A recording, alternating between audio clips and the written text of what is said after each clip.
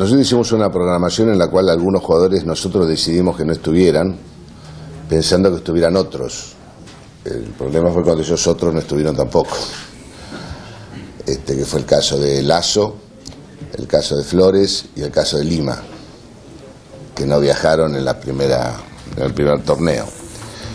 Entre eso nos complicó mucho los planes, porque este, sobre todo en el rol de opuesto, eh, Johansen es un chico muy joven, que de la sub-23, que nunca había jugado en la selección.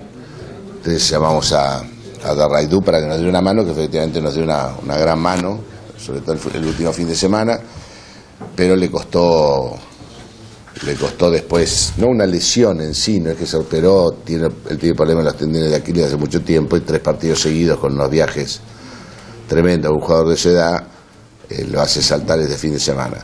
Entonces eso nos complicó mucho. Eh, pero bueno, fuimos, fuimos creciendo, hubo un, partido que jugamos muy mal, este, el resto lo, dos, digamos, el primero y el partido con Francia nos jugamos bien. Bulgaria logramos ganar y en, en, la- en el último grupo los partidos con Bulgaria y con, con Bélgica y con Irán fueron buenos partidos, a pesar de que el equipo estaba muy incompleto.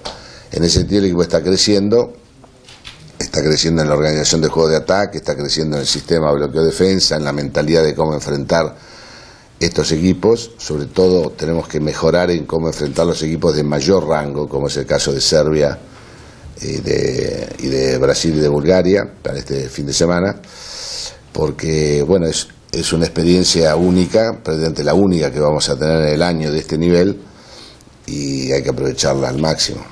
Y yo creo que los jugadores también están, están con una buena mentalidad para hacerlo. O sea, lo que yo les he planteado es que nosotros tenemos que jugar muy bien. Si después de ese muy bien no es suficiente porque el adversario es más fuerte, bueno, nosotros sabemos que nos faltan jugadores, que nos faltan, pero eh, no que no logremos jugar muy bien porque el rival seamos fuertes. Esa es una cuestión de mentalidad para mí muy importante que, que tenemos que lograr este, crecer.